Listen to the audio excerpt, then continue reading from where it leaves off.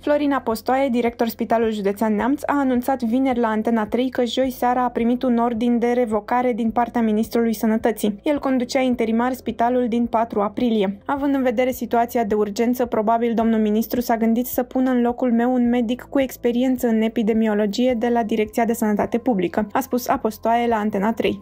Ministrul Sănătății Nelu Tătaru verifică vineri situația de la Spitalul Județean de Urgență din Piatra Neamț, unde va discuta cu autoritățile locale și cu cadrele medicale. Nelu Tătaru va fi însoțit de coordonatorul regional desemnat pentru gestionarea crizei de COVID-19 în regiunea Nord-Est, Lucian Indrei. Conducerea spitalului a anunțat joi că nu mai face față numărului mare de cazuri de COVID-19. Numărul de cazuri confirmate cu COVID-19 în județul Neamț a ajuns la 202. La acest moment, în spitalul din Piatra Neamț sunt șapte medici de boli infecțioase, la care se mai adaugă doi medici pneumologi detașați de la alte unități medicale din Neamț. Conducerea Spitalului Județean de Urgență din Piatra Neamț a anunțat joi că 30 de pacienți confirmați cu COVID-19 vor fi transferați la Iași. Avem personal limitat, iar medicii de boli infecțioase nu mai reușesc să facă față. Am reorganizat și celelalte ture pe secții, dar consider că tratamentul acestor pacienți trebuie supravegheat și supervizat de către medicii de boli infecțioase și medicii pneumologi, în afară de cei din ATI, a spus managerul Spitalului de Urgență Piatra Neamț, Florina Postoaie, în cursul zilei de joi.